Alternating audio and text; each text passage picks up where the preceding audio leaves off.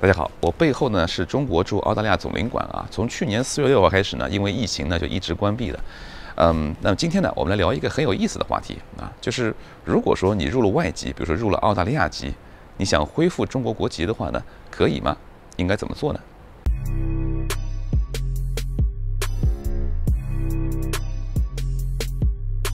这个话题呢，是因为昨天呢，澳大利亚本地的 SBS 电台呢，它有一个观众热线节目嘛，有一个观众打电话进来呢，就问了这个问题。我我想问一下哈，我太太现在是澳洲护照，嗯，那么她现在现在呢，她不想要澳洲护照，她想申请一个澳洲 PR，您看有什么办法吗？当时电台里面回答这个问题的嘉宾呢，那位女士呢，是一听口音就知道是香港或者台湾的移民，或者说干脆就是在澳大利亚长大的 ABC。她呢，第一个她不知道中国这边关于这个接收的政策都怎么样，她只能说澳大利亚这边如果说你要回去的话，你怎么放弃？第二个呢，她其实也并不了解从中国移民出来的很多人的一个心理啊。所以呢，今天我就原原本本、详详细细的跟您说一下。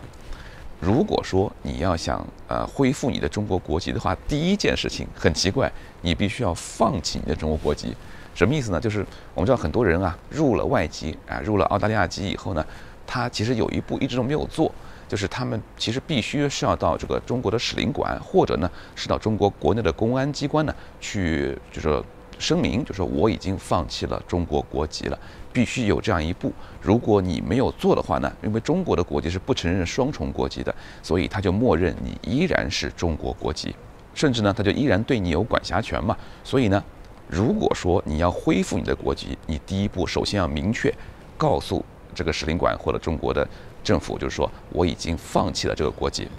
拿到了这个放弃国籍的这样一个证明书以后，然后你再凭着这个证明书呢。去同样去使领馆或者公安机关去办理一个申请恢复国籍的这样一个手续，但是其实最麻烦的就是在这一步啊，就是你要填上你的材料，写上你的声明，我为什么要恢复，以及你要附上你的这个呃放弃中国国籍的证明，呃附上你的这个呃外国的这个护照啊等等这些文件以后呢，你最长要等两年，他写的是二十四个月，最长两年时间，但是呢。其实刚才我们在做这个节目的时候呢，就走过去一位先生，他就是在做这个类似的这个签证啊之类的，就在附近做的。呃，我跟他聊了一下，因为当时有一辆车经过嘛，很吵。我跟他聊了一下，他觉得就是说，就他目前知道的，很多人都卡在了这一步上，就是说你可以申请，你向使领馆提申请，使领馆呢要么接收啊，就很长时间不答复你。呃，两年其实不是一个，不是肯定两年就一定会给答复的，有可能会更长。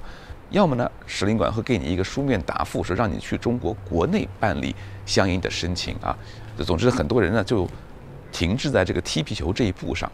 好，反正你拿到了这个申请以后呢，下一步就是你拿着这个申请去澳大利亚移民局申请放弃澳大利亚国籍。这一步是必须的。如果说你没有去中国国内办理这样一个，说对方愿意接收我了啊，申请我要恢复国籍，说呃中国政府呢开出来说我我同意你只要放弃澳大利亚国籍，我就同意接收你。如果没有这一张证明的话呢，澳大利亚移民局是不会受理的。澳大利亚移民局就说可以放弃国籍的前提之一就是你必须要证明你不会成为无国籍人士。OK，所以凭着这张中国方面已经。同意你申请恢复原籍的证明呢？去移民局，澳大利亚移民局办理这个放弃国籍。放弃了国籍以后啊，就是这段时间你其事实上你已经是无国籍人士了。然后你就必须要到中国国内去，这一步据我所知是必须要到中国国内去做的。你要到中国国内去，带着这张澳大利亚就放弃国籍的证明等等这些所有这些材料去中国国内办理，说我要恢复。中国国籍上户口啊，等等这些操作啊，所有这操作就继续进行。前面我们说了啊，其实最关键的点就在于，当你提交这个恢复中国国籍的申请的时候，中国政府他会不会给你办？他会等上多久？审核多久才能给你办？呃，我在网上看到的很多人说我自己已经办理成功了啊，二零一九年、二零二零年左右，有很多人说我已经办理成功了。但是呢，目前这个疫情呢，我相信应该对这个办理时间会有更大的一个延长，甚至停滞，就是暂时就先不受理这方面的申请了。呃，但是如果说这个疫情过去了以后呢，相信这些东西还是会恢复的。具体关键一步就在这儿。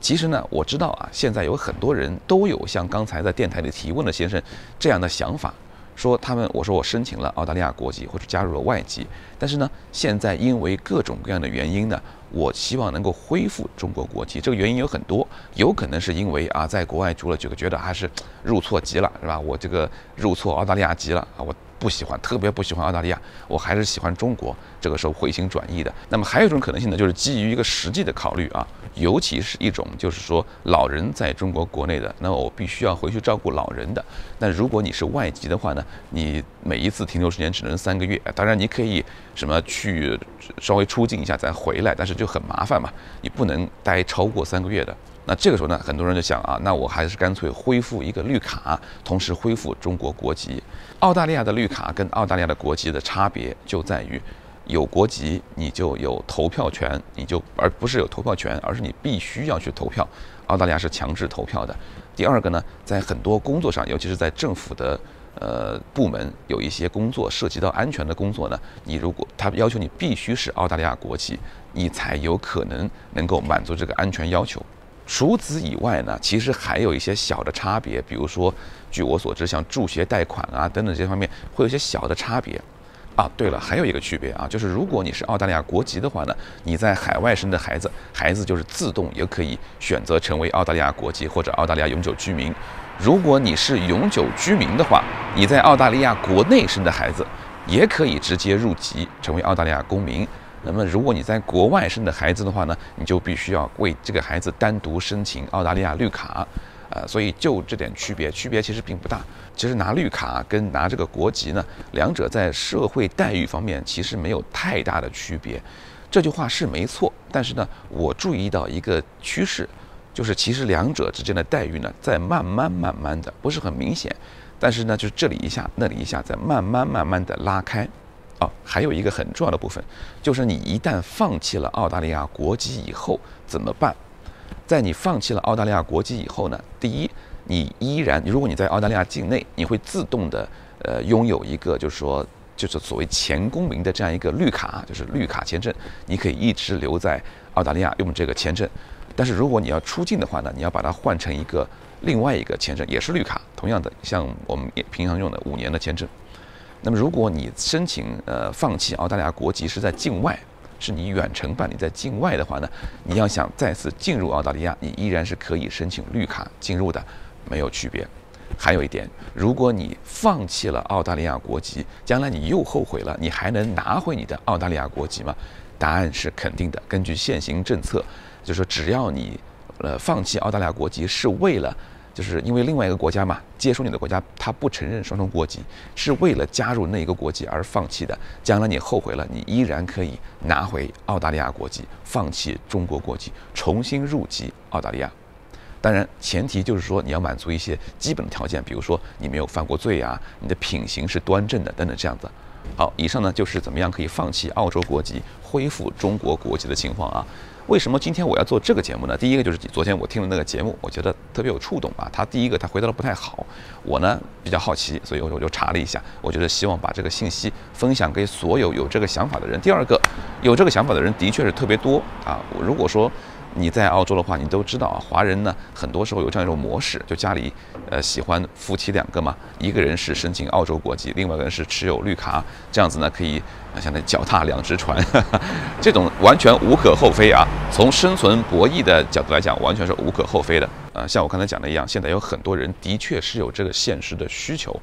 我呢有一个同学吧。呃，他呢是移民来到澳大利亚，全家都过来了。然后就像我们前面讲的一样，他呢自己是入了澳籍，妻子呢保留绿卡。但是呢，他就经常会在不管是朋友圈里面啊，还是聊天群里面啊，抱怨，就是特别不喜欢澳大利亚这个国家，这个制度啊，这个人特别不喜欢。然后整天抱怨，就是说希望能够回到中国去嘛。那么其实我这个节目呢，也是做给像这样的朋友的啊，像我这个朋友，除了我们的政治观点不一样以外，是一个很好的人，是一个很顾家的很好的人。我觉得像类似这样的朋友啊，不管是他们出于这个政治上的需求，还是生活上的现实的需求呢，我觉得都应该告诉他们，你们的确是有这个机会的，你们是可以这样按照一二三四这么做。那么至于你能不能成功，那么你自己不做，你怎么知道呢？关键在于你迈出这一步。我们很多人都觉得，哎，你呢？当时千辛万苦的移民到了澳洲来，或者移民到了国外，然后这个时候呢，你相当于做出了一个重要的决定。现在呢，你又千辛万苦再移民回去，这是何苦呢？但是我觉得人生就是这样子的，人生很多时候呢，你必须要在一个关键的时间点上，利用你现有的信息资源，做出一个关键的决定。很多时候呢，这个决定不只是为了自己，也是为了自己的家人着想。你想，如果你对澳洲如此的不满，然后呢，你。留在澳洲，那么你的子女呢，也将继续留在澳洲，在一个让你如此不满意的国家生活、成长。我觉得这个对于不管对于这个呃你自己，对于你的家人，对你的孩子，甚至对于澳大利亚这个国家，都是不那么公平的，不是吗？那么很多人他不愿意迈出这一步呢？或许有很多考量，有可能是面子的考量，有可能是经济利益的考量。我在这边澳洲，不管怎么样，我已经有了根基了啊，然后我要连根拔起。我已经从中国到这儿来，已经连根拔起了一回，现在我还要再次连根拔起，回到中国去。而且中国有句话叫“好马不吃回头草”嘛，总觉得回去以后呢，自己会是很丢人的一件事情。其实大可不必，四十而不惑嘛。到了这个年纪呢，我觉得很多事情应该可以放下了，不管是算计还是面子，都不如随心而安，跟着自己的心走最重要。好，青山不改，绿水长流，下一次我们再见。